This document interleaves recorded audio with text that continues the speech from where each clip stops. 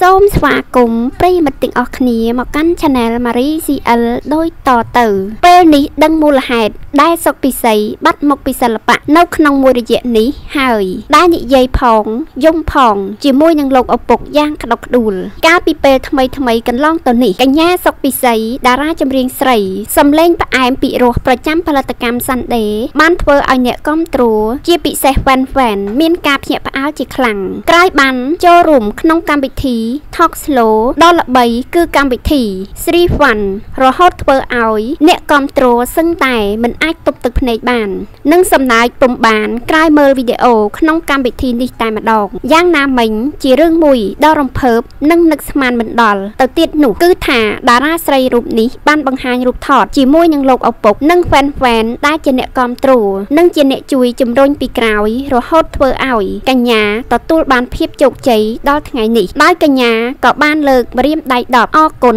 និងបាននិយាយថា ដំបងបងអស់គឺប៉ាខ្ញុំ គឺគាត់លើកទឹកចិត្តខ្ញុំពីក្រោយ គឺថា